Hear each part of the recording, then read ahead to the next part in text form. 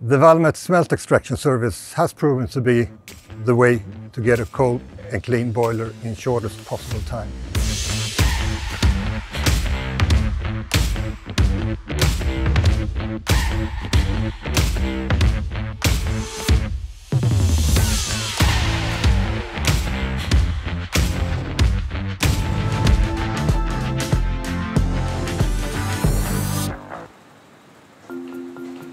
Many of the challenges that we are doing here is uh, very specialized mechanical problems, so we need highly skilled personnel to uh, take care of them.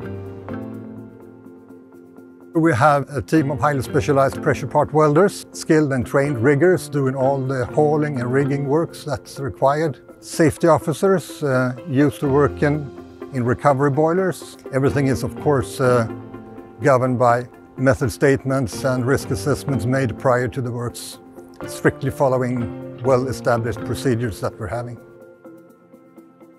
I mean, we have to keep in mind that we work in an environment with corrosive media, high temperatures, high pressures. I would say that if there is an operation that we can't do in a safe way, then we simply don't do it.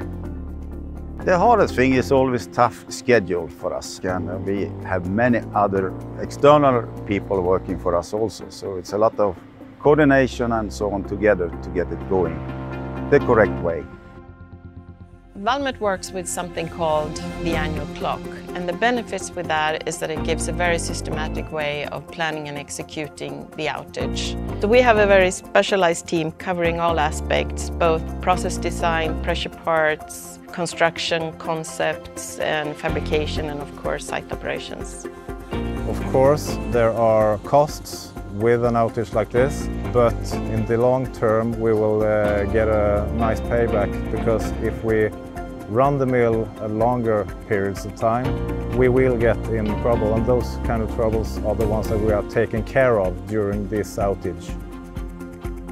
Valmet works very closely with the customer, so when the outage is done, uh, we typically have a lessons learned meeting the week after the outage where we go through the inspections that were done, the work that was done, and we already then start planning what we need to do the next year. By using Valmet for your recovery boiler maintenance shutdown, you can minimize the outage time and we can give back the boiler to the customers so that they can do what they are best at, producing pulp.